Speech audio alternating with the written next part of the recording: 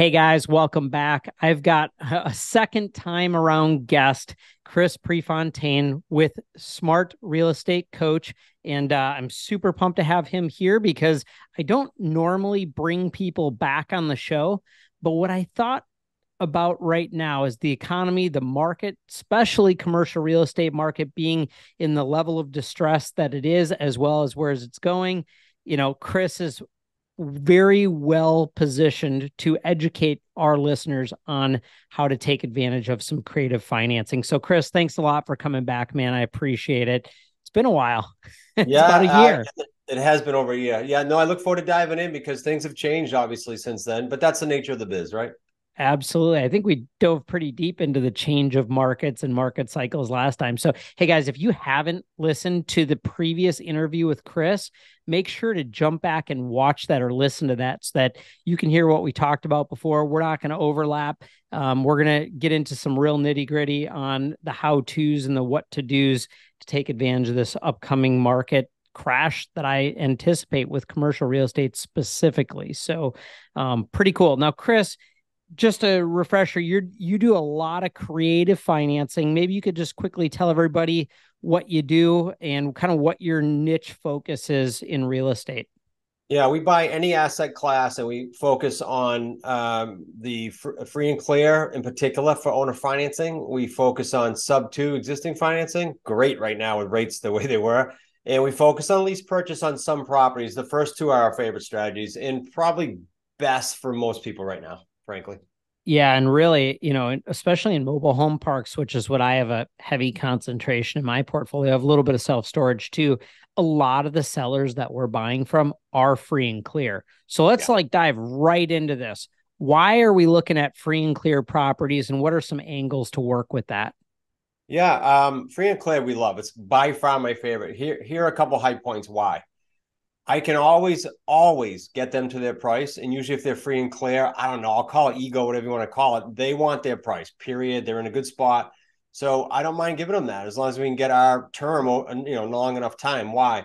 Most of my deals are structured principal only payments, or if they're over a million, so you have imputed stuff that kicks in, or a combination of, hey, let's go 18 months or 24 months, principal only, then take the balance and amortize it. That's pretty powerful too. I don't care what you're looking at for a property, you know, for an asset class. Yeah, you just said something that is actually the opposite of what I hear most investors talking about. You said principal only, not interest only. You said right. principal only. Why principal only versus interest only? Picture the um I'll use my building. I always use this as an example, but I bought this building. I sold it 2 months ago, but I bought this building and I said to the owner, I want to do principal only payments. That's how we structure most of our deals. Now, the why, before I talk about that conversation, is the the the hammering down of principal and the recession hedge, I'll call it, is amazing. Picture it. So this building, he said to me, principal only. Like this guy owned, he was one of the largest landowners on the island here, Freetown Island. I said, uh, yeah, and then he was shocked. But what we ended up doing is a, what I call a hybrid, which is great for anyone to hear we took 18 months. You could take longer. He wouldn't go more than 18 months. And we did principal only. And then we amortized the balance at like 5.2. At the time, that was a touch high, but not too shabby right now. Not too shabby at all right now. Yeah. And so basically, you just used some words that I want to point out. You said, yeah, the way we structure most of our deals is just principal only. Is that what you actually say to them? Or is it a little bit less direct about the principal only and versus interest and things like that? Actually, good question. I assumptively talk in the conversation like we're going to establish a price, then we're going to make you monthly payments against that price. If the word interest comes up, yes, I say this, this is how we structure most of the deals. If they say why, I say, well, what's more important to you? Now, you can, this can be a seesaw or a quadrant or more. Let me explain. What's more important to you, Mr. and Mrs. Seller? Is it price? Is it down or is it interest? Now you could go, is it price? Is it term? Is it monthly and leave interest out, right? And leave down payment out. So you could have a quadrant or you could have three things. And so I say them very honestly, look, those are the things. What's most important to you? Because I can't give you all three. That wouldn't be a win-win, right? right. Just wait for their agreement. That's no, that's fair. And then they pick their best that you know their priority. Usually it's price. Sometimes it's monthly, and sometimes it's well, I can't go more than five years. So sometimes it's term, but mostly it's price. Yeah. And so you're giving them options, right? You're not just saying, how do you want it? you're actually giving them choices, which is important, right? right? And then additionally, you're getting them to see that there's only so many levers. And that's kind of what I tell sellers. When I talk to sellers about seller financing, I usually tell them that there's a few different levers we can pull. If you want this lever pulled, then we need to pull this one back. And it's just exactly. adjusting on a spreadsheet to get to a win-win between the two of us, but it's never going to be all four levers pushed forward. It's got to be right. one or the other being manipulated to make sure that it's a win-win for both. You said a real a key word. You said spreadsheet. Now, if you're speaking to a seller, words like that, or I ran our metrics, and if I do this, I have to do this. That's less of you, they think, right? Perception, less of you just throwing numbers out negotiating than I ran it through my formulas. I ran it through my metrics. I put it on our spreadsheet here's how it would work or here's how it could work way less wiggle room there or at least it appears takes the it takes the weight of the decision off the person that they're talking to we also use appraisers and banks and other sophisticated investors yeah. as the excuse to why value needs to be what it is. It's like, hey, if any appraiser or any bank looks at this, they're going to value it this way. And we have some challenges in the mobile home park space with valuation that we use that on to make sure that they're not thinking, hey, Mario's just being cheap. No, somebody else on the outside is going to be the determining factor of value, not me. That's super powerful, Mario, that you bring that up because then you can pull yourself on their side of the table with this comp stuff, right? With the comparables, with the appraisals. And that's what I do. So, so they have some wacky number. I say, look, I'm on your side. I'm on your team. What's going to happen is, same as you said, if an appraiser comes in, now you're going to waste three months or six months and this thing's going to die. We don't want that to happen. So let's talk about how we can make it work. Yeah, uh, this is powerful as far as discussion. Because it's only worth what it's worth. And yep. they have to realize that it's just because they want something doesn't mean that it's worth that. And anybody in their right mind or sophisticated investor is not going to pay more than the property's worth. Now, can you maybe talk about how you've used some of your creative financing structures to get closer or get to a seller's number, even if it was a little bit higher than maybe what an appraisal would come out to. But how did you make sense of giving them their price? Because you said price, yeah. terms, whatever. Um, how did you make that work? A couple things. This is where you can circle back and go, look, I'm I'm sort of your only buyer at this price if it's too high. And, and let's be let's be real let's be realistic here. If they say okay, and they they're tracking with you, now this is where you kick in the principal only. So the only way I can justify it is two ways. One, I got to make principal payments against that for a certain amount of time to justify your price. Now, in my brain, I'm going, I don't want to go more than like six to 12 months to get the amount of principal paid to get down to where the value is, right? Um, now, if I have 20 years to do that, like this year I did this building, and rather I did 20 years. So if I have 20 years to do that, I'm okay maybe going up to 12 months or 18 months in my brain to get the appraisal number down. Now, you and I both know over 10 years, I, I really don't care what happens. 20 years, I definitely don't care what happens because you're going to hammer it down. So principal only is the answer to that, in my opinion. Um, or you can tier it. Um, tier if you play with the math, and this is pretty powerful. Say you go two years principal only, then you go a year, 2.5. It's it's not the number's not as important as you work in the math on this. Then go, you know, 3.2. They see they're getting interest and it's tiered up, but you're hammering principal down still. Pretty yeah. powerful method there too. Yeah, that's crucial because you're not just talking about taking it from one interest rate and bringing it up. You're talking about going from no interest to a little bit of interest and a little bit more interest. But you're, right. you're, yeah, I, I, like that. And you're also taking into consideration your principal pay down that's much higher in year one than it normally would be. And then using that to offset the value that you or the price that you paid for the property. And if you can get it down to where it needs to be within the first six months, a year, whatever you said, you know, you're back to where you were already. And, and it starts to make a lot more sense after okay. that because yeah. you keep paying down principal. Yeah. So I love that. How, when you're talking to these owners, I'm going to word something in a way that I know is incorrect, but how do you get these sellers to want to sell to you or sell to you as seller financing? Yeah, this is the biggest question we get, right? How do you convince them? Is what I hear. How do you convince them, right? Yeah. Yeah, think of it. Think of this. This will help you on the phone for the listeners. Like if you get on the phone and you have one mindset, and that mindset is, ah, you know, I'm just looking for people to help today. And then you picture yourself as no different than an accountant, uh, auto body shop, dentist, lawyer, pick one. They're not trying to convince you of anything. They're going to either solve a problem for you or help you accomplish a goal you couldn't otherwise accomplish. Okay. So on the real estate side, it's no different.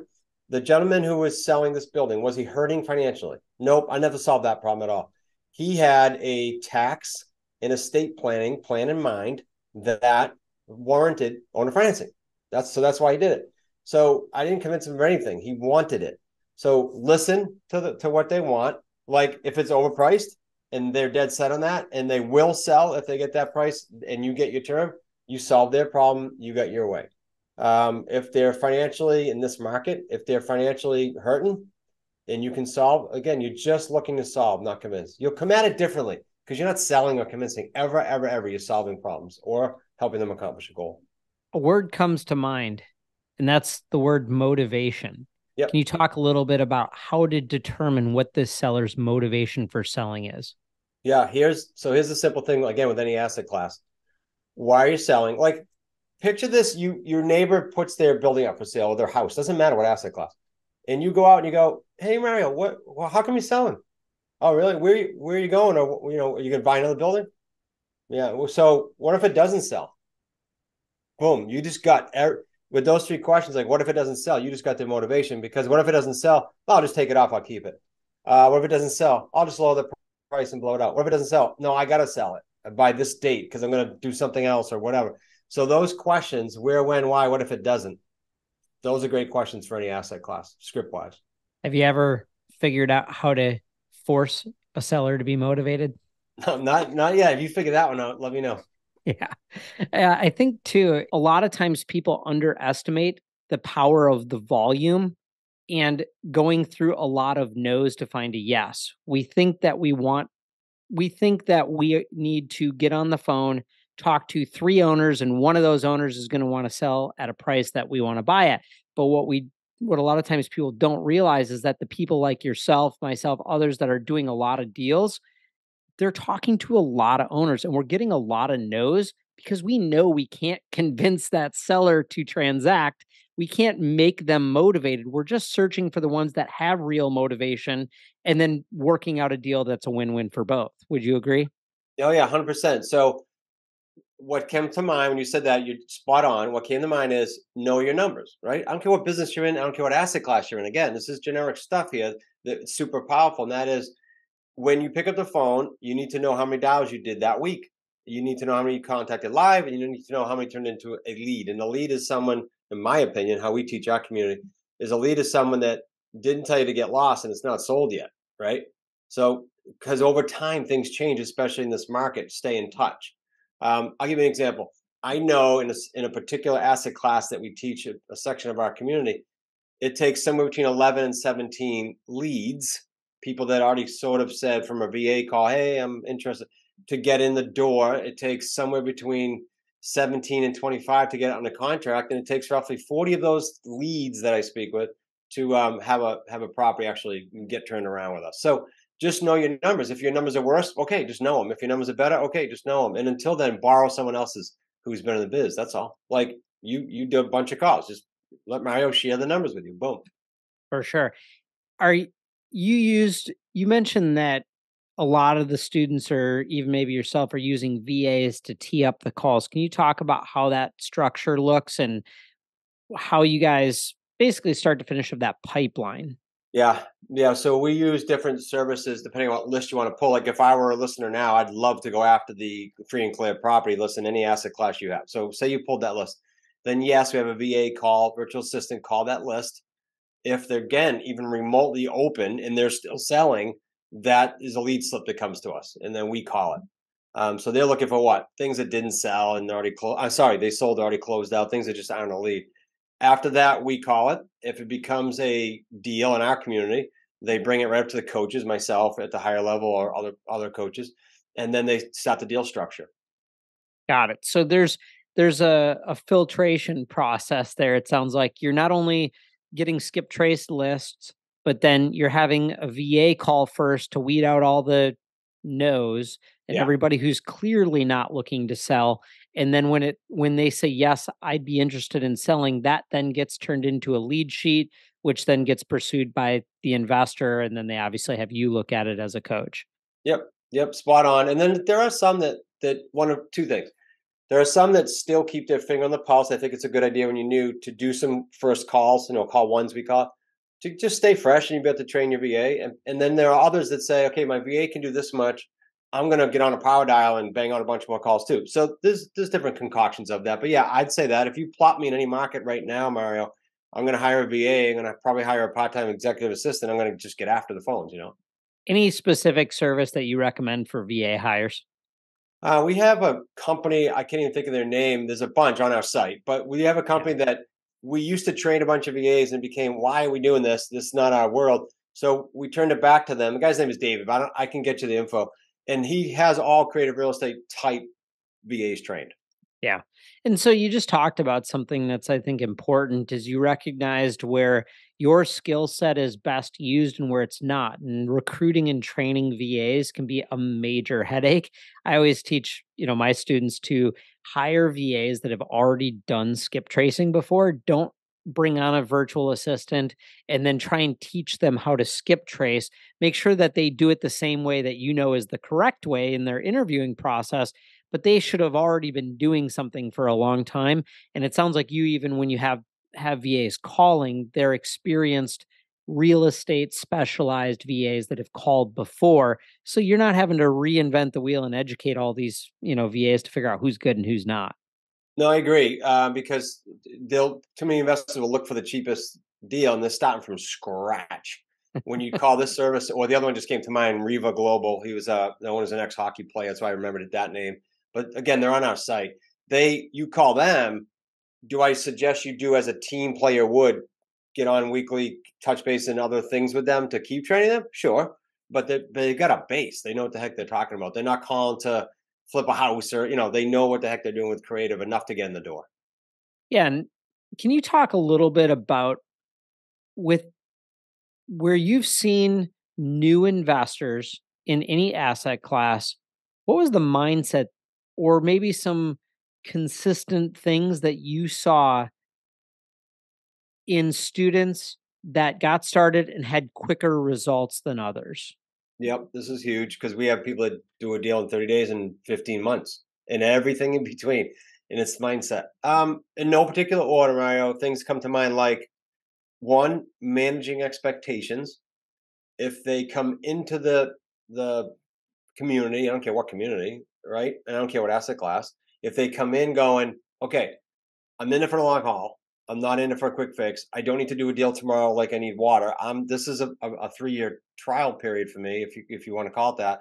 Then they'll have success on that front because it's not a try in real estate and it's not a get rich quick tomorrow. It's a I'm going to commit to this. I researched it. I'm going to get after it. That's one. Two is I can't imagine uh, not hiring a coach first of all, but I can't imagine hiring a coach and then not listening to him because this happens. So someone does a deal and then they go off sideways because they think they got to figure it out and they mess things up and or become stagnant. So a coach that's where you want to be. So that's not brain science, right? Very simple. So managing expectations, a coach or someone, mentor that is where you want to be. Um, I think the other thing would be when we you enter the space being vulnerable to your mentor or coach. Because if you have baggage like I did coming out of the crash, for example, you need to work with that, or that's going to get in your way. And I know this sounds like totally not real estate. It's 100% real estate and it gets in the way. For sure. Yeah, I, I've seen the same. I mean, some people get started and they're like, yeah, I want to close a mobile home park deal in my first 60 days. And I'm going, well, the due diligence period is 60 to 90. So unless you've Whoa. got something all teed up and under a contract and ready to go, it's just not realistic. And then I think when they do that, when they have that mindset of it's got to happen today, then when it doesn't, then they feel let down, they get distracted, and they chase the next shiny object. 100%. Or if they have realistic timelines, hey, I'm going to get my first deal in the first six, nine, 12 months, whatever, then they're working towards it up to that point without feeling like they've already lost. And right. so, yeah, I think I think you're right that that early that accurate expectations is huge. I was talking to a to somebody the other day and I said, you know, how many different property types, strategies have you chased in the last couple years? And they're like, four. Well, you've chased mobile home parks, storage, uh, you know, subject to all this, you know, all these different strategies and different property types, taking all this different coaching. Now, the best thing is, is that they're very knowledgeable about all the angles. And I said, look, this is it. You're either going to do this or you're never going to do anything in real estate again because you're committed and it's over. Like chasing yeah, all different property types is over. And uh, I think it's important to kind of have that burn the bridge mentality getting into any um, investment. Learn it, do it till you're good at it, and then look at other things if you want to do that, but get good at it. So let, let me ask you this. Is there a, is there a certain thing that a seller says to you when they're t- when you're talking to them that just tells you, you know what? I'm not mm. going to make this deal happen with this seller. We talked about finding motivations, but what are some things that you hear the sellers say that tells you I'm wasting my time with this seller? Yeah, could be say or could be attitude, quite frankly. So what I mean by that is, okay, go back to the seesaw or the quadrant. If, the, if I'm throwing variables at them and they just honor at the beginning, saying no, I no, I want all those. I think I can get all those. I'm I'm I may call them in sixty or ninety days to see that they did stumble and fall or that they did get realistic, but I'm not. I'm probably not gonna. Um, it's worth always one follow up because things change in real estate, right, over time. For sure. Um, that comes to mind uh, when I say how they act, and that's important because I would hope everyone's in this mode. You don't have to deal with anyone you don't want to deal with. And if the deal starts off where you're getting the the the queasies over it, or you're just getting this gut feeling, why go forward? You know what I mean? There's just some attitude sometimes with with, with these sellers, um, and I don't want to deal with that. If they're hard then, or they're hard to deal with then, or anything like that comes up, then it's just not worth it and you're going to be married to them if you're if they're carrying the paper, right? So, yeah. do you really want to deal with a jerk for 30 days, let alone for 20 years? Yeah, doesn't matter know, how like, good the deal is. Yeah, it's not worth it. You know, a lot of times sellers, I'm sorry, a lot of times buyers seem desperate when they're yeah. talking to owners. How can buyers talk to sellers and not sound desperate about, you know, seller financing, wanting to buy their property, being creative? Because I think a lot of times buyers will be like, I need you to carry the paper. And it tells the seller that you need me to finance this because you're not qualified. Yeah. Um, this is scripting. What that's what screams at me. Um, it's not what you say. It's it's it's important to learn that, but it's how you say it. It's the confidence. So if I if I'm coming across like that, like needy, it doesn't matter how good my line is. It's it's going to sound needy and not confident. So so two things. Uh, role play. This is not every professional role plays in some shape, form, or fashion. But realtor, realtors or investors or commercial investors get in, they, they think, oh, I can just pick up the phone. No, you probably should role play and practice scripts. I did in every every niche I went into. I did. So, and then you can come across confident. Um, when I say role play, I'm talking get a partner and role play live. That's what I, that's what we tell our students to do. That makes sense. Absolutely. You know, and you keep talking about education, students, and all that, and what I want people to realize is that guys like Chris, guys like myself, and others, a lot of the people that you've heard on the show, I'd say all, if not most, of the people that you've heard on the show are big into the education space, both as many cases now they're educators, but in their career, they've been students, and I'm an ongoing student. I'm in multiple courses right now and coaching programs within different niches because I want to get really good. And the fastest way for me to do that is to learn from a Chris, to learn from someone who's already been doing it, like he said, and is already where you want to be. And then basically save a ton of time. A lot of times people look at the cost. They go, oh, it's going to cost me 5,000, 10,000, 20,000, whatever it is to get to do this. But you could do that, or you could spend three years trying to figure it out yourself and bang your head and potentially go bankrupt making the mistake. Or sadly lose on a deal. And that is painful because that'll flush you right out of the business then you're completely out. Yep. how how do you think about uh, education, and what do you say when somebody says, "Well, I don't know," seems like a lot of money to, you know, to learn how to flip homes or to, in this case, get seller financing and things. Yeah, um, I always say relative to what they say expensive, because if they say it's expensive before they figure out what the return could be, there's a missing link there. Why do I say that? Picture this. Let's go back to the conference thing. If you and I were were absolutely certain that if we did A, We did it would lead to B, we did B, it lead to C, and it was that predictable in our brain. It's confidence.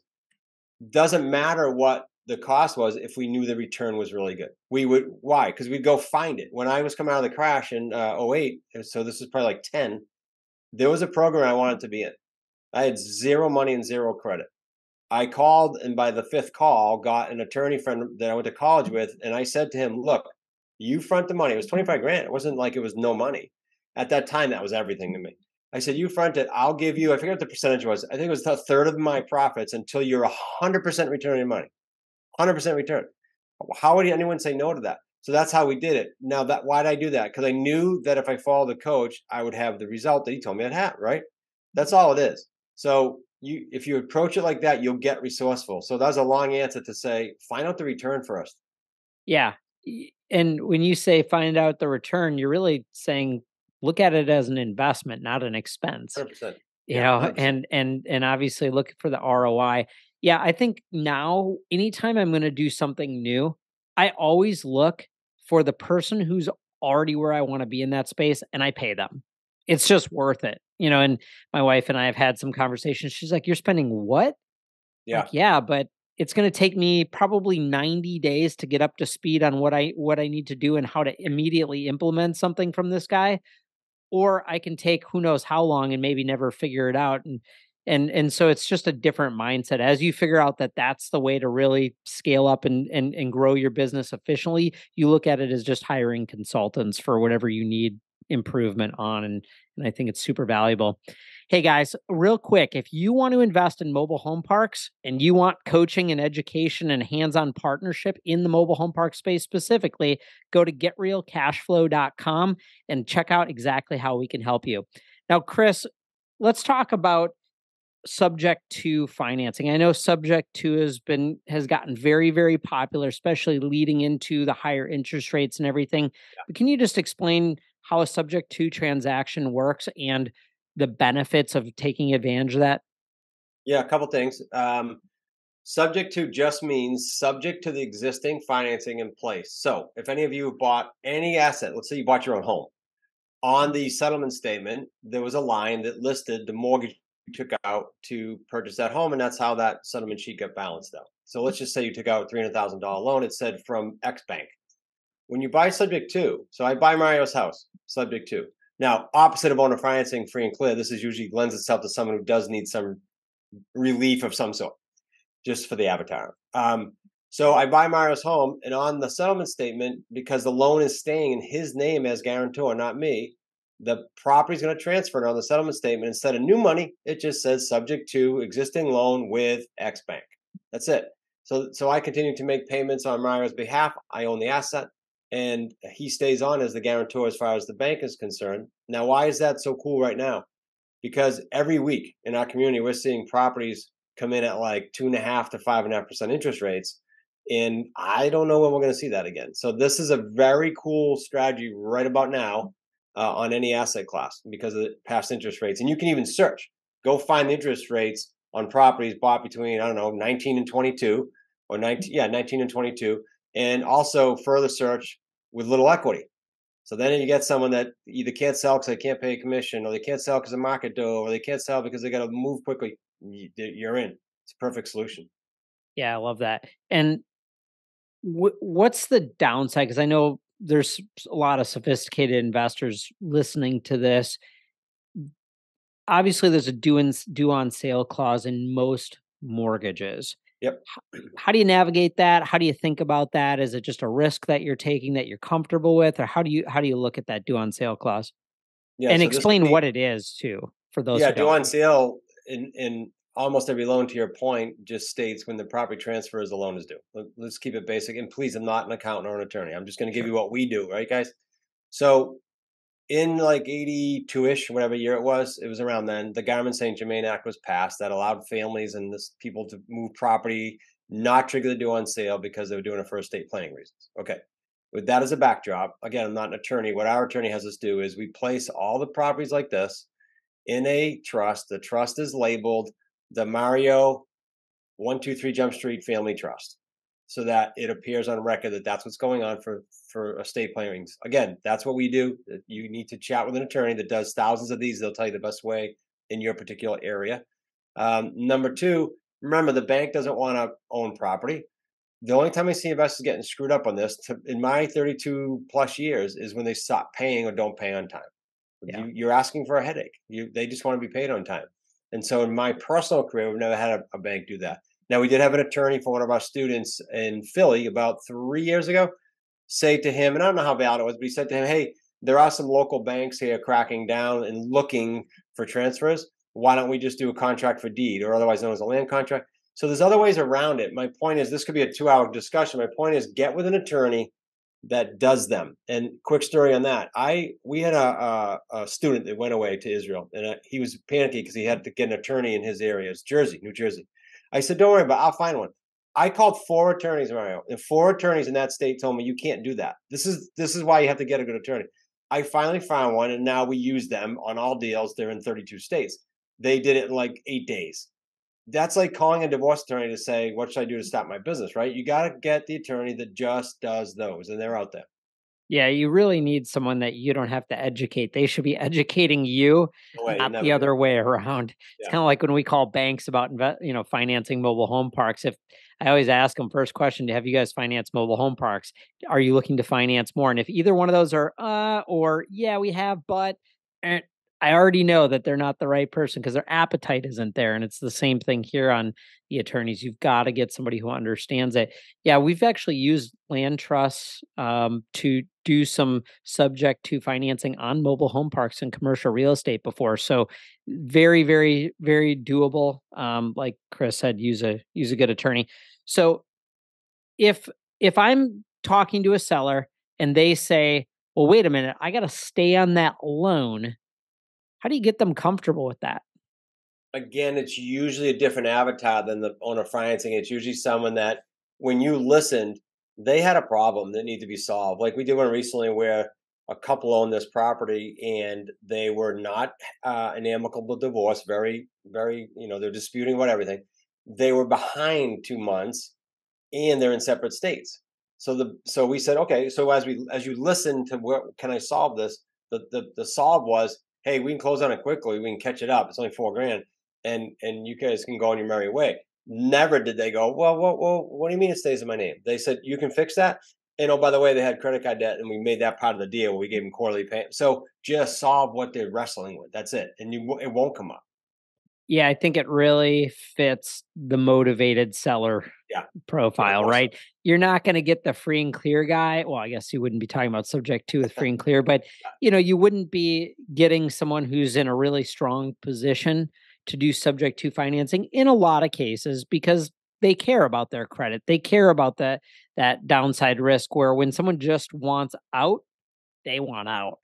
whatever it takes, solve yeah. my problem. And that's exactly what you're saying is find the motivated I, seller, right? Yeah, I have found in some states, like Michigan comes to mind, but there, there are several states that when we call sellers, they automatically go, Oh, you mean contract for deed or land contract? Like they're used to it and they'll they're more prone to do that for whatever reason. Texas big time because you can't do lease purchase out there. They're just used to sub twos. So just yeah. some states are more prone to be open to it. Yeah, I think that's a great point. Where you're investing is going to determine the strategies that you're using the most and whether it's a contract for deed or, you know, just a straight subject to with a deed transfer over. You know, it's it's really going to be market specific and, and law specific for those states. So Chris, number one, who should get in contact with you and how do they get in contact with you to do um, uh, we can give a, a, free book link to everybody, but who should do it? Um, look, if you're exploring in any shape, form, or fashion, you said it earlier, Mario. You're always looking for like, where, how can I get that edge? You're always trying to learn. Well, our stuff's creative financing in general. It's I, I the book I wrote is called Real Estate on Your Terms. That's all it means is creative financing. And so, if you want to add sort of some power and some skill set to any asset you're doing, then take a peek at what we're doing. Go to wickedsmartbooks.com forward slash Mario numeric number one. Wickedsmartbooks.com forward slash Mario the number one. Uh, you won't get asked for a credit card for shipping, nothing. We'll get you out some couple of our books and it'll open your eyes and it'll add to, not change what you're doing right now. Yeah, thanks for doing that for the listeners here. He's he's guys, just so you know, he's giving you a promo code so that you don't have to pay for the books because you're listening to the show. So thank you for doing that, Chris. I've read his books; they're phenomenal, and uh, I highly recommend them. So definitely take take them up on that. And Chris, I appreciate you coming back. This has been fun. I'd like to do some more things with you, specifically around the creative financing strategies within our coaching group and other things. So thanks again, guys. We'll see you on the next one. Thanks for listening. I hope you got out of this as much as I did. I'd really appreciate it if you could leave a five star review so we can reach more people. Jump over to mariodattilo.net and find out what else I got going on. Be sure to connect with me on all the socials, and I'll see you on next week's show.